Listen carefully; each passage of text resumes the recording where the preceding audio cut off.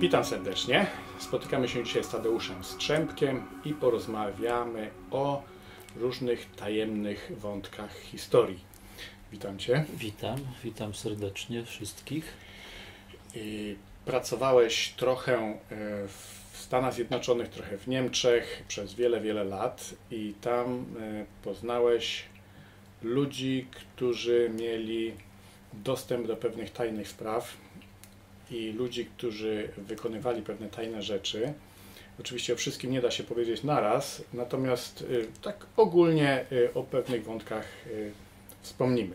Zacznijmy może od Może, tematu może od Kazimierza Dolnego. od Kazimierza Dolnego. No dobra, no to weźmy Kazimierza Dolnego. Tak, jako że z Kazimierzem Dolnym jestem związany od wczesnej młodości. Mhm. Studiowałem na Akademii Sztuk Pięknych w Warszawie. Studiowałem architekturę wnętrz, ale y, zawsze y, byłem blisko malarstwa. Malarstwo też studiowałem. I, i nasz profesor y, jeszcze w czasach studenckich, no, że tak powiem, ciągał nas na plenery do Kazimierza. I jeszcze w czasie studiów, czyli to były lata 70., y, dowiedziałem się od mojego profesora przedwojennej daty jeszcze, który przed wojną studiował, że w Kazimierzu Dolnym zostały namalowane jakieś obrazy na wielką wystawę do Nowego Jorku. Mhm. No i że profesor wtedy nie wiedział, mówię, to były lata 70., co się z tymi obrazami działo, że one gdzieś przepadły. No, ta opowieść mojego profesora, może przytoczę jego nazwisko, Tadeusz Zieliński, znany architekt, który zresztą lata okupacji spędził gdzieś tam w okolicy Kazimierza, ukrywając się. Yy, no ta historia mnie, mnie nurtowała przez wiele kolejnych lat. No i byłem w Stanach Zjednoczonych wtedy, to był rok 2004. Mhm. No, już był internet, już się posługiwałem internetem. Przypadkiem trafiłem w internecie na taką notatkę z kuriera, z kuriera lubelskiego, to gazeta lokalna, o tych obrazach właśnie. Mówię, rok 2004. No i wtedy jakby ponownie y, ten wątek mnie zaintrygował. Zacząłem zbierać materiały, szukać wszystko o tych obrazach. No w tej chwili to już mam sporo tych materiałów, jako że y, mniej więcej dokładnie mogę, mogę pokrótce powiedzieć o nich. To były obrazy przeznaczone na wystawę światową do Nowego Jorku, która się odbywała w 1939 roku.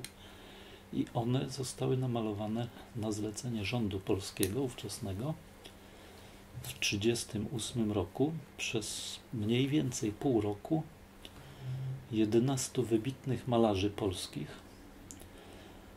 y, y, w willi Tadeusza Pruszkowskiego, ówczesnego rektora ASP, malowało te obrazy w pełnej zgodzie, co jest, podkreślam, ewenementem w skali całego globu, Mhm. że 11 że ekspertów 11 malarzy potrafiło w zgodzie te siedem obrazów, obrazy pokazujące naszą wielką tysiącletnią historię, no niestety tylko tysiącletnią, no, bo tak chcieli tak akurat chcieli, tak jest. Ktoś taki scenariusz napisał. E, Wkrótce potem, bodajże w 2005 roku, bo, bo jakaś taka fala zainteresowania tymi obrazami nastąpiła, e, został nakręcony film w Kazimierzu Dolnym właśnie na temat tych obrazów. Film, już nie pamiętam nazwy reżysera, w każdym razie y, ja wtedy jeszcze w Stanach poprosiłem jakiegoś kolegę z Kazimierza, żeby mi ten film przysłał. Przysłał mi ten film, obejrzałem. No oczywiście y, wsp- wspaniała rzecz, że w ogóle ten film został zrobiony. No tam z pewnymi przekłamaniami, to później doszedłem do tego. Ja może wymienię nazwiska malarzy, którzy pracowali przy tych obrazach. Więc pierwsze Tadeusz Pruszkowski, rektor wczesnej Akademii Sztuk Pięknych. W porządku alfabetycznych mam, alfabetycznym mam ich tutaj. Razem z profesorem pracowali Bolesław Cybis, Bernard Frydrysiak, Jan Gotthard, Aleksander Jędrzejewski, Eliasz Kanarek, Jeremi Kubicki, Antoni Michalak, Stefan Płużański, Janusz Podowski, Jan Zamojski. Wszystkie te nazwiska to są takie bardzo znaczące dla polskiej kultury, dla malarstwa. Jak ktoś się zajmuje malarstwem, to tam troszeczkę wie. Y, obrazy były wystawione najpierw y, w Warszawie bodajże w grudniu 1938 roku. Wkrótce potem, bodajże w marcu,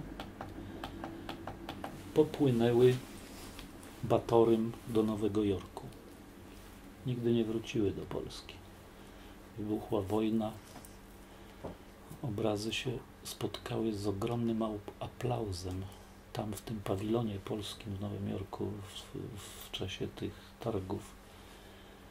Yy, wręcz pielgrzymki z całych Stanów, pielgrzymki polonusów jeździły do tych obrazów. Mhm. Nie tylko do obrazów, bo tam było jeszcze wiele innych ciekawostek, o których powiem pokrótce. Wybuchła wojna, no i tak jak wspomniałem, obrazy nigdy nie wróciły do Polski. Yy, Gdzie się znalazły? Po wojnie, no wiadomo, był w Londynie działał rząd londyński, Tak. który niby przejął pieczę nad pozostałościami po tym pawilonie wystawienniczym, który został zdemontowany po kilku miesiącach, ale Stany Zjednoczone bardzo szybko, bo już y, chyba w 1945 roku, na początku po Berlinie, uznały y, to nowo powstałe państwo pod, pod nadzorem Sowietów, No, a nie uznawały rządu bel, berlińskiego. Mhm. Znaczy one też uznawały, bo Stany Zjednoczone zarówno uznawały Zaleskiego, później tego trójgłowego prezydenta, jak i, i rząd ten okupacyjny w Polsce, więc oni uznawali wszystkich tak, Tak, na tyle, ale, na ile ale trzeba. to, był, to był jeden z aliantów, więc, No. y, więc oni musieli jakoś być w zgodzie z Tak. Sowietami. Więc y, te obrazy długo były w depozycie u pana y, Derop. Koberg Derop, tak, tak brzmiało jego nazwisko, który miał potrójne obywatelstwo, bodajże szwajcarskie, angielskie i polskie. Mhm. Był komisarzem tej wystawy nowojorskiej. No, według moich dociekań był masonem. Mhm. Y, Przez kilka lat on się opiekował tymi obrazami. Przez no, więcej, może jak kilka, kilkanaście. Ale w roku 56 uzyskał posadę wykładowcy na Uniwersytecie Le Mayen College w Syracuse. No, być może te obrazy były dla niego zawadą. No, wielkie obrazy o wymiarach y, 2 metry 20 na 120 w poziomie. Mhm. Tak mniej więcej wielkości dużych drzwi jakby. Malowane na, y, na sklejce. W opisach jest, że na, że na drewnie, ale ja stwierdziłem, że na sklejce. Oszklone, więc musiały być ciężkie potwornie Mhm. więc prawdopodobnie były zawadą. I on te obrazy zdeponował na tym uniwersytecie, gdzie do, uzyskał posadę. No, jak y, przebywałem w Stanach Zjednoczonych, nawiązałem kontakty z pewnym adwokatem polskiego pochodzenia, już nie pamiętam jego nazwiska, mam tutaj gdzieś w notatkach, który bardzo ciepło wspominał y, Lubelszczyznę, bywał w Kazimierzu Dolnym, no i twierdził, że on zna tę historię i że można te obrazy odzyskać. To był rok bodajże 2006, ale właśnie mija 50 lat od momentu zdeponowania tych obrazów i że być może jest to już przedawnione, no ale żeby podjąć kroki w celu odzyskania tych obrazów, należy się zwrócić, należy wytoczyć sprawę sądową w sądach Mhm. amerykańskich i że na wstępie to tam jakąś sumę trzeba opłacić adwokatów, trzeba jakąś kaucję, gdzieś rzędu 100 tysięcy dolarów na wstępie. No i tyle. Potem no, sprawa tych obrazów mnie nurtowała cały czas. Ja nie będę powtarzał tych, tych wątków, które są już znane. y, Być może one są w internecie, można sobie je poszukać. Natomiast no, nie znalazłem osobiście fotografii tych obrazów w internecie i nie znalazłem tego filmu, który jest, Mhm. y, y, który był w Kazimierzu nagrany. Ostatnio no, To jakoś skąd te zdjęcia tych obrazów masz? Więc ja się tam przyjechałem do Syracuse. Aha. Mieszkałem wówczas w Savannah, Georgia, do Syracuse. No to było jakieś, nie wiem dokładnie, 1700, około 2000 kilometrów. Mhm. No, niewiele myśląc, wsiadłem w samochód i, i pojechałem na północ. Jechałem dwa dni, gdzieś tam z noclegiem po drodze. Zaopatrzyłem się w dwa aparaty fotograficzne, no bo miałem nadzieję, że, że sfotografuję. Ale to tak e, myślałem po polsku. Więc y, obrazy się znajdują w bibliotece uniwersyteckiej. One sobie tam wiszą gdzieś w ciemnych pomieszczeniach, nie są wyeksponowane. Owszem, w recepcji, w wejściu do, do, do tej biblioteki jest tam jakaś informacja, jakąś broszurę wydali o tych obrazach, ale tak bardzo skromnie, nic więcej. I, i oczywiście nie, nie mówią tam prawdy. Więc mówię, zaopatrzyłem się w aparaty fotograficzne, które przemyciłem, no, nikt mnie tam nie sprawdzał. I z ukrycia wykonałem około 100 fotografii Mhm. z ręki. No, nie jest to proste, bo obrazy są za szkłem, Tak, i więc odbły, odblask. jakieś, jakieś bliki są, prawda? Mhm. Odblask. Jak już te obrazy miałem sfotografowane, aparaty z powrotem zaniosłem do samochodu i udałem się do, do recepcji z prośbą o zezwolenie, o uzyskanie zezwolenia na fotografowanie obrazów. Tak. Wtedy pani recepcjonistka powiedziała mi, no wie pan, musi pan uzyskać zezwolenie od rektora, to nie takie proste, no bo flash z aparatu to działa niekorzystnie na te Mhm. obrazy. No bzdura kompletna. Owszem, ja poszedłem do rektora, nie zastałem go oczywiście, złożyłem tam jakieś pismo, no tam sekretarka mi powiedziała, że może za dwa tygodnie dostanę odpowiedź. Mhm. Nie wiedziałem, że już tam była delegacja polska właśnie złożona z tych ludzi, którzy ten film kręcili w Kazimierzu w 2005 roku i że oni również się y, uzyskali odmowę, ale no, oni tam próbowali negocjować y, z władzami uniwersytetu, nic nie wskurali. Uniwersytet należy do jezuitów, co chcę Mhm. podkreślić. Y, No, już miałem odchodzić, ale pani recepcjonistka mówi: Wie pan, niech pan chwilę poczeka, bo właśnie dyrektor y, biblioteki przyszedł z lunchu. Y, Zaraz pana skomunikuję z dyrektorem. Dyrektor mnie zaprosił na kawę. Ja mu tam pokrótce opowiedziałem o celu mojego przybycia. No to on się ucieszył, mówi tak, ja mam żonę polskiego pochodzenia, ja to jestem po waszej stronie, no ale no ja nie mogę nic zrobić, bo, bo no tutaj jestem tylko pracownikiem, no ja jestem za tym, żeby te obrazy wróciły do Polski. Ale y, no nie może pan sfotografować bez zezwolenia, ale wie pan, ja panu obiecuję, że za jakieś 2-3 tygodnie ja panu wyślę fotografie przez nas wykonane. Mhm. Tylko niech pan nikomu nie mówi, że to ode mnie. No, no może za kilka lat pan powie, Tak, bo ja niedługo na emeryturę odchodzę, to, to mi tam już nic nie zrobią. tak. No i rzeczywiście po dwóch tygodniach pan dyrektor biblioteki przysłał mi fotografie tych obrazów zrobione profesjonalnie. To są te, które ci przekazałem Mhm. na pendrive'ie, bo te moje z ręki robione Są słabsze. są słabsze, chociaż one też, bo ja fotografowałem detale tam różne bardzo ciekawe. Mhm.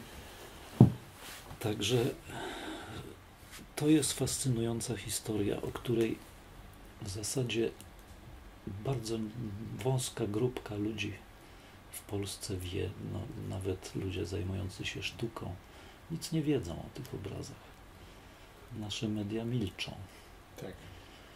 No, ja próbowałem jeszcze wielokrotnie nawiązywać różne kontakty y, celem zawiązania jakiejś grupy społecznej, żeby, żeby jakieś działania poczynić, żeby te obrazy wróciły. Tam nie tylko się te obrazy znajdują, ale w tej bibliotece są jeszcze cztery tkaniny naszego wybitnego artysty.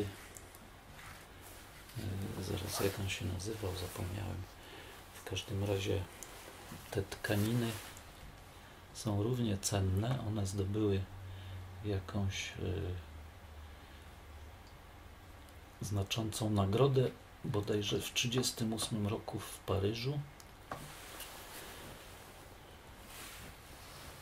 I wydaje mi się, że zarówno te obrazy, jak i te tkaniny powinny wrócić do Polski. Obrazy do Kazimierza Dolnego, Mhm. gdzie, gdzie zostały namalowane i gdzie jest grupka ludzi, dosłownie kilkuosobowa, która zna tę historię. Jest, y, są potomkowie pana Antoniego Michalaka, malarza, który brał udział w, w malowaniu tych obrazów. No, oni też brali udział w tym filmie.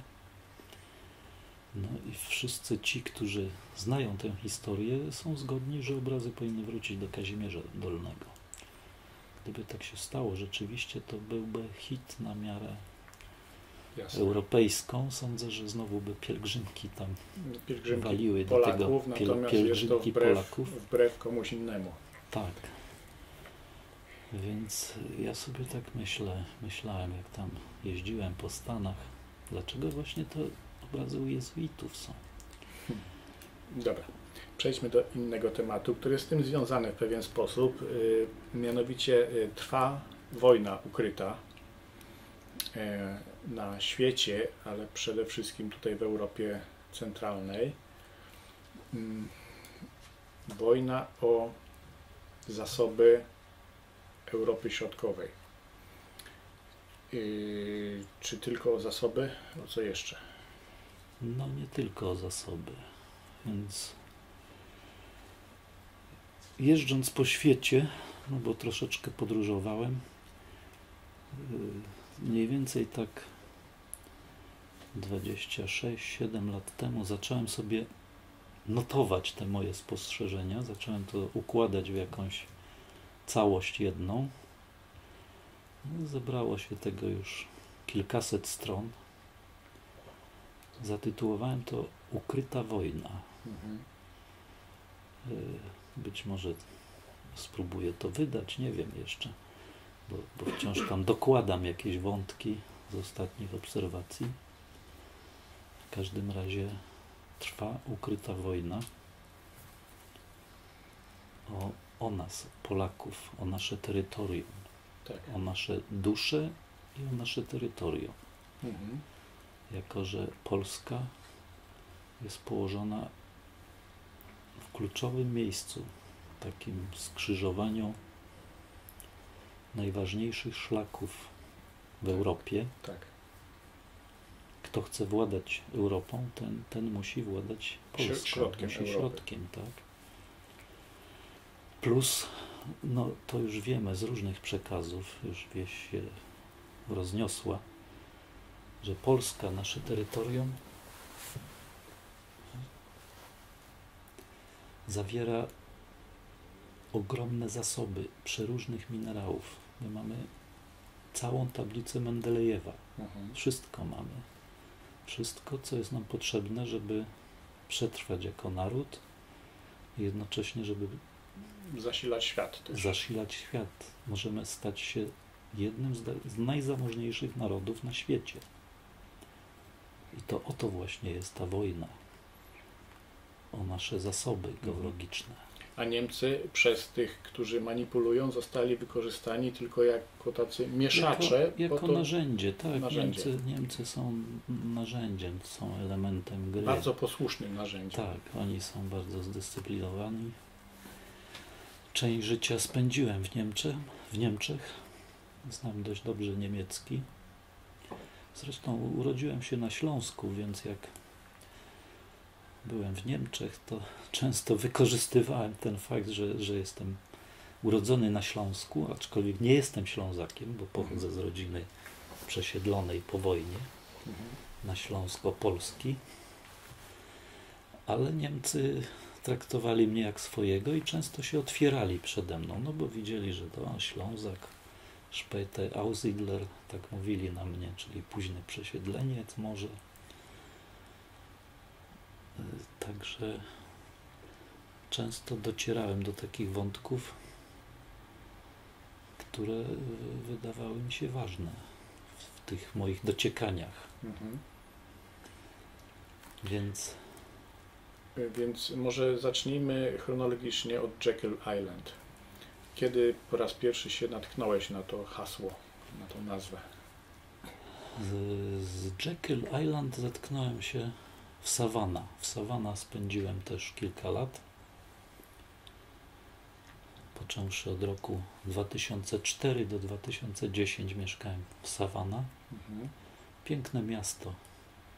Miasto założone przez masona angielskiego 1733 roku. I można powiedzieć, że to taki pierwszy przyczółek masoński na Amerykę. Y, Tam pracowałem w jakiejś małej firmie kontraktorskiej. y, Po prostu zlecano nam remonty starych domów. I taki dom stary, XIX-wieczny remontowaliśmy. Niechcący tam znalazłem jakieś notatki kogoś, kto pracował na Jekyll Island. No tam się przewijało hasło Jekyll Island. Czyli jakiegoś robotnika Jakiegoś fizycznego. robotnika fizycznego, który tam pracował. To mnie jedynie naprowadziło na te, bo ja nic nie wiedziałem o tej wyspie. To jest wyspa połączona pięknym mostem z lądem stałym. W tej chwili jest to połączenie z most, mostem. No i niewiele myśląc, po kilku tygodniach się tam przejechałem samochodem, jako że to blisko dosyć, tam gdzieś około 100 km od Savannah na południe, w stronę, w stronę Georgii Mhm. w stronę y, Florydy chciałem powiedzieć. I no już troszeczkę się zapoznałem z tą historią tej wyspy, więc co nieco wiedziałem z biblioteki, z internetu. Y, Jest taki autor amerykański Griffin, zapomniałem imienia, Okej. y, który napisał książkę Potwór z Jekyll Island. Polecam ją wszystkim, jeżeli Mhm. ktoś chce. Ona jest po polsku, można ją znaleźć w internecie. Ja się z tą książką zetknąłem y, w bibliotece tam w Savannah i tak przewertowałem ją ty tylko. Ale tak, no, z tej wiedzy, którą zebrałem, otworzyły mi się w ogóle oczy na mój światopogląd, na, na to wszystko, co się dzieje teraz. Właśnie na tej wyspie została zaplanowana cała stuletnia historia całego XX wieku. I dalej w zasadzie. I tak. dalej w zasadzie to się już jakby samorzutnie kręci. Wyspa została wykupiona na własność w końcu XIX wieku, bodajże w 1887, przez 50 czołowych miliarderów amerykańskich z Nowego Mhm. Jorku głównie.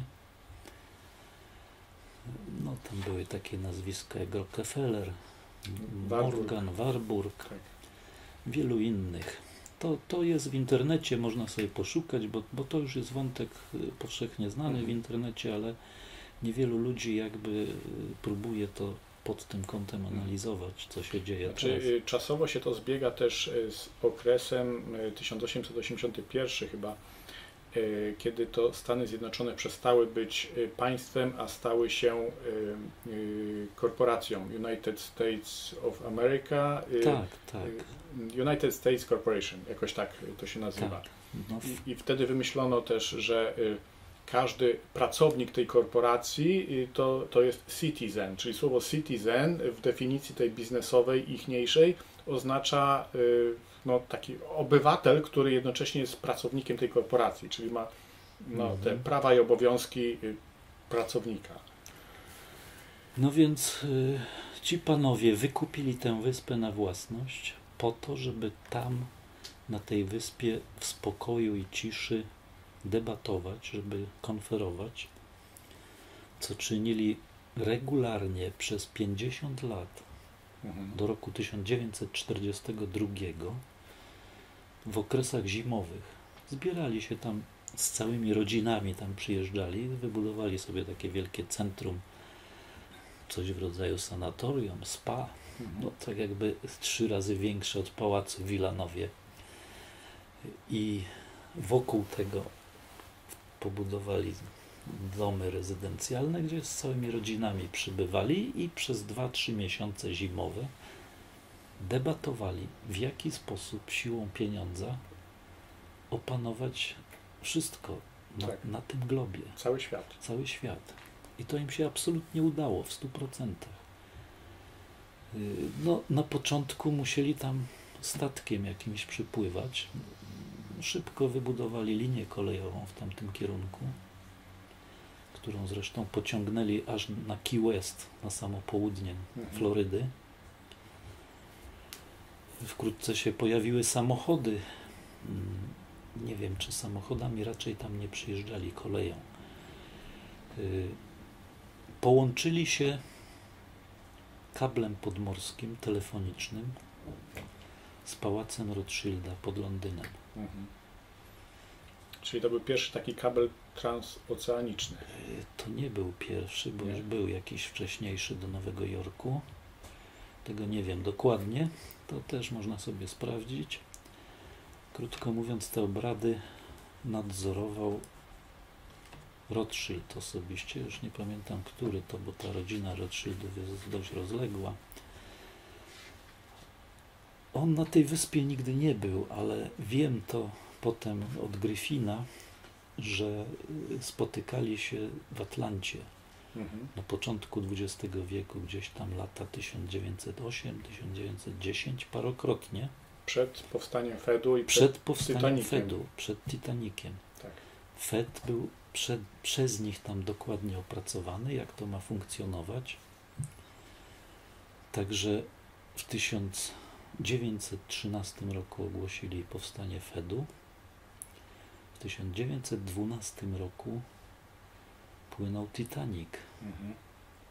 z kilkudziesięcioma czołowymi bankierami. bankierami europejskimi, którzy mieli jakiś przeciek i chcieli przeszkodzić tej sprawie. Tak.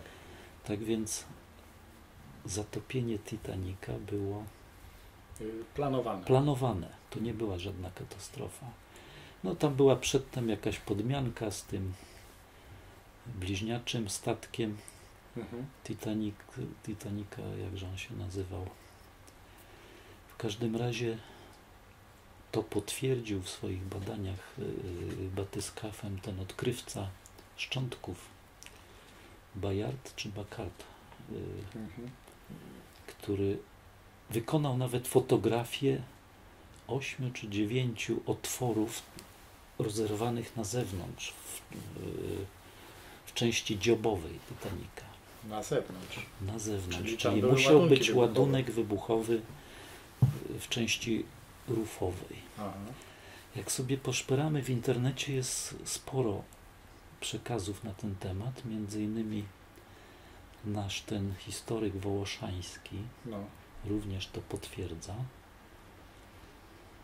Nie wiem, czy jeszcze ten filmik jest, bo ja, ja to słuchałem kilka lat temu.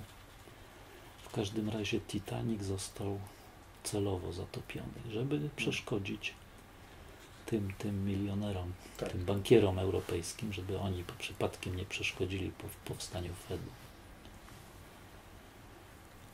Jest taki wątek mało znany, również ciekawy, związany z Kazimierzem Dolnym, mianowicie Stanisław Szukalski. No, To jest postać również mało znana, zupełnie wymazana z naszej historii. słyszałem to nazwisko. To jest ikona polskiej plastyki, rzeźbiarz słynny, który przez 45 lat, mieszkając w Los Angeles, pracował nad wielkim dziełem pod tytułem Macimowa. Ale ja nie o tym chciałem. Mhm. Y, może potem do tego wrócę później. Mianowicie Leonardo DiCaprio, ten aktor wielki, który grał rolę takiego artysty Tak. płynącego Titanikiem. Stanisław Szukalski był jego przyszywanym dziadkiem i ojcem chrzestnym. I Leonardo DiCaprio tę rolę zadedykował swojemu dziadkowi, Stanisławowi Stachowi Zwarty. E, Ja osobiście jestem jakby sąsiadem Stanisława Szukalskiego, jako że mieszkam 500 metrów od ruin jego domu. Mhm. Oczywiście Stach Zwarty już nie żyje dawno, zmarł w 1987 roku. No ale właśnie te wątki jakoś się dziwnie krzyżują. Leonardo DiCaprio, Szukalski, Macimowa. Mhm. Macimowa, dlaczego Macimowa? No dlaczego? Nasz język prapolski, prasłowiański czyli mowa jest matki. matką wszystkich języków indoeuropejskich. Mhm. Więc to nie tylko Stanisław Szukalski do tego doszedł, to, to było wielu przed nim i wielu po nim. W każdym razie to dzieło no jest sobie gdzieś w rękopisie w Los Angeles zdeponowane, nigdy nie zostało wydane. Wydaje mi się, że powinno ujrzeć światło dzienne. Tak więc y, ci panowie na Jekyll Island spotykali się do wybuchu wojny z, Japoń, z Japończykami do Pearl Harbor Tak. do 1942 roku. W 1942 zdecydowali, że już wszystko jakby urządzili cały XX wiek, bo to się kręci siłą pieniądza. Wszystkie wojny, rewolucje, Mhm. nikt normalnie myślący nie idzie na ulicę i nie chce mu się strzelać, prawda? Tak. Ktoś musi zapłacić. Trzeba komuś to wbić Trzeba w głowę. komuś to wbić w głowę, więc właśnie. Także e, to oni się przyczynili do, do, do wybuchu tych wszystkich rzezi. Do, oczywiście, że e, ludzie mają naturę ułomną i wystarczy ich odpowiednie tory skierować i Mhm. Y, Tutaj masz taki ładny cytat y, Fryderyka y, Curie. Tak, ja ten, tym cytatem się posługiwałem już parokrotnie, jako że od czasu do czasu występuję publicznie z okazji prowadzenia tej, tej fundacji naszej Mhm. Zielonej Kazimierz. Ja to może odczytam. Fryderyk Eliot Curie, zięć pani Marii Curie Skłodowskiej, naszej wielkiej. On przybrał jej nazwisko, nie wiem dlaczego. On to powiedział 60 parę lat temu, więc w latach 50. Fizyk jądrowy, naukowiec. Przyszła wojna będzie wojną niewidzialną. Dopiero gdy dany kraj zauważy, że jego plony uległy zniszczeniu, jego przemysł jest sparaliżowany, a jego siły zbrojne są niezdolne do działania, zrozumie nagle, że brał udział w wojnie i tę wojnę przegrywa. Więc mamy wojnę.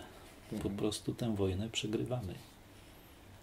Jesteśmy w dosyć zaawansowanej momen- zaawansowanym momencie tej wojny.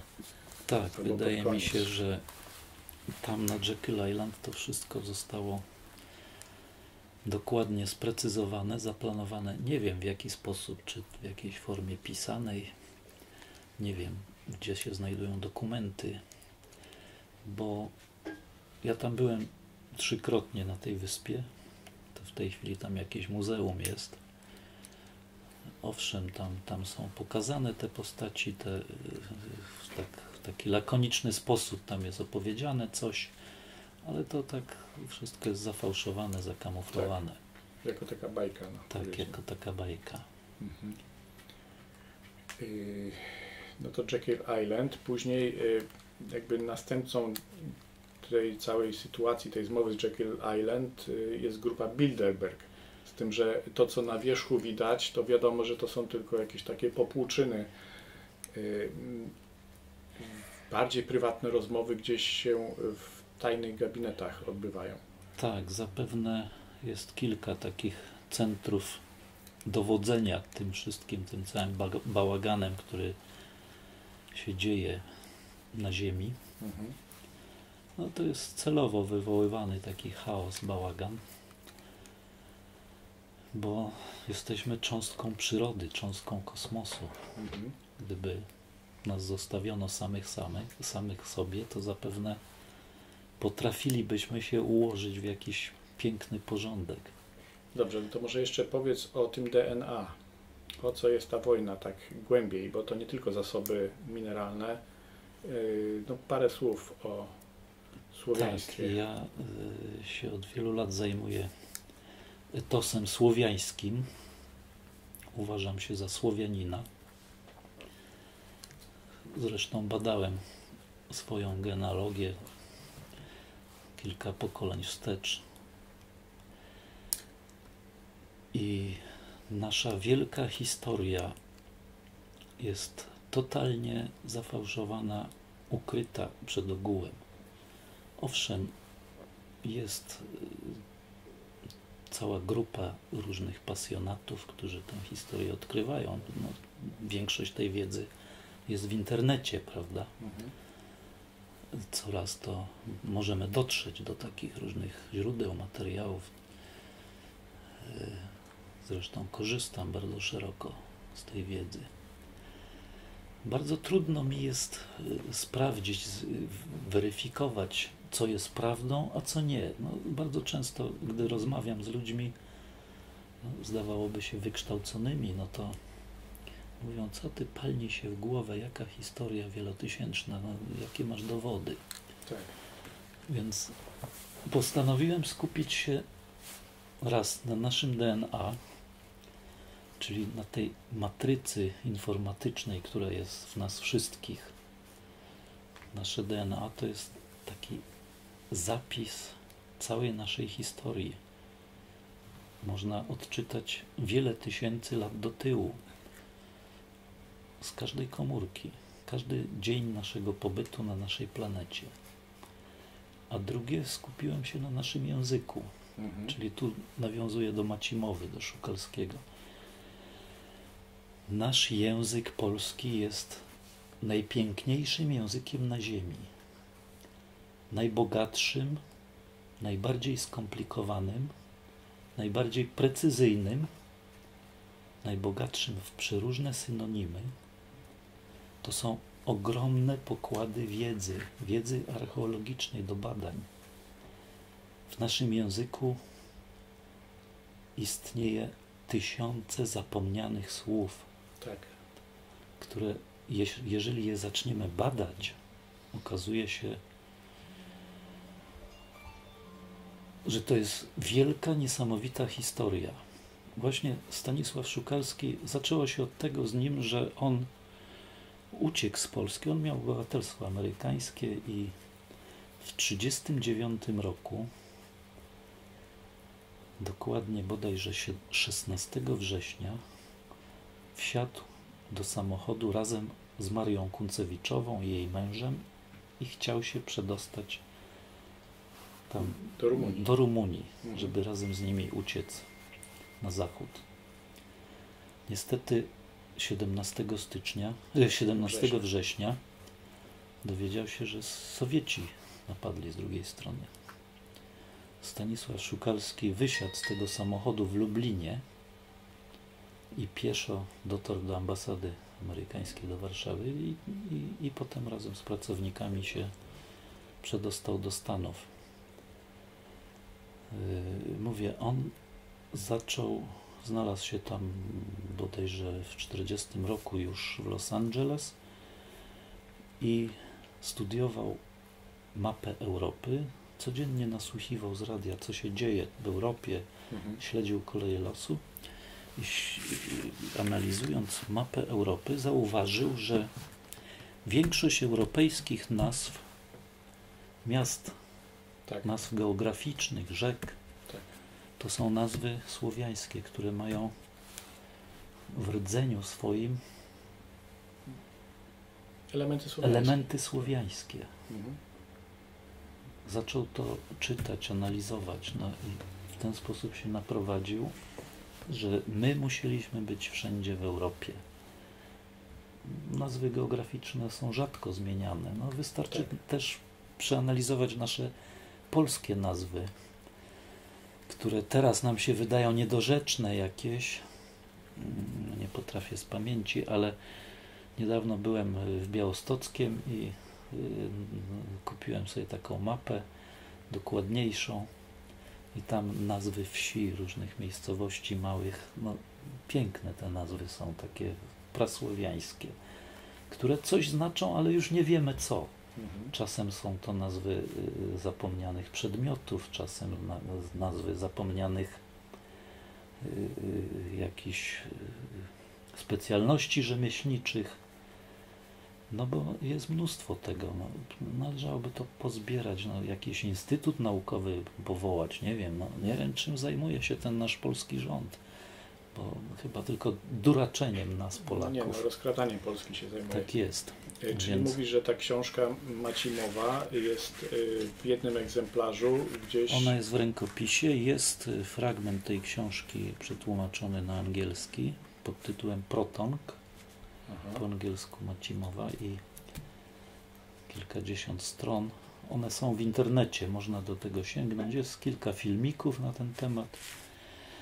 Wiem, że y, Stanisław Szuk- Szukalski skupia wokół siebie całą pokaźną grupę fanów w Polsce, nie tylko w Polsce, ale na całym świecie.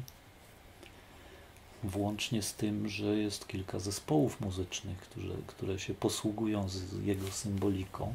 Mhm. Jest taki zespół Tool w Los Angeles, rockowy zespół, który na każdej płycie swojej jakąś, jakiś tam symbol od Szukalskiego. No, Szukalski się zajmował słowiańszczyzną jeszcze jak, jak mieszkał w Polsce w latach 30. No, wykonał szer- szereg dzieł rzeźbiarskich, graficznych w nawiązaniu do, do naszych korzeni prasłowiańskich. Sugeruję poszukać. Jest trochę tej wiedzy w internecie. Mm, Jest y, kilka książek profesora y, Lechosława Lameńskiego, profesora z Kulu z Lublina, który pięknie pisze o, o Szukalskim. Także jest to niezwykła postać, mówię, wymazana z naszej historii. Postać, która powinna stać na piedestale obok takich jak Picasso czy Salvador Dali. Także to Jasne. tak pokrótce o Szukalskim. Dobrze. Y, Coś na zakończenie, bo to jest, y, no wiadomo, jesteś kopalnią wiedzy. Nie No, ja, ja równolegle jakby pracuję, no, nie jestem naukowcem, jestem artystą plastykiem, malarzem, architektem. Od niedawna dziennikarzem też, członkiem SDP-u yy, w Warszawie. Więc dużo piszę, dużo zbieram. Jakoś mi się to układa w jedną całość. Kilka lat zbieram materiały do książki, którą chcę wydać o Kazimierzu Dolnym. Mhm. Kazimierz Dolny, jak zacząłem zbierać, szukać, okazuje się, że miasteczko nad Wisłą ma niesamowitą historię sięgającą 3000 lat. Mniej więcej do połowy XIII wieku Kazimierz Dolny nazywał się Wietrzna Góra. To zresztą jest wszędzie, nawet jest taki hotelik w Kazimierzu, który się tak nazywa, ale nikt nie wie dlaczego. No jest tam taka góra. No jest taka góra właśnie, Wetrna Chora. Tak to brzmiało w języku prapolskim, słowiańskim. słowiańskim. Y, Tę swoją książkę zatytułowałem Wetrna Chora. No, mam już kilkaset stron, teraz w tej chwili to składam, jakoś zbieram w całość, może mi się uda wkrótce. Miasteczko leżące na szlaku, na, na skrzyżowaniu szlaków handlowych. Południe, północ Wisłą, Mhm. wschód, zachód, droga kołowa, przeprawa przez Wisłę. Także to można by bardzo długo. Jasne. Dobra. Dzięki Dziękuję bardzo. bardzo. Dziękuję.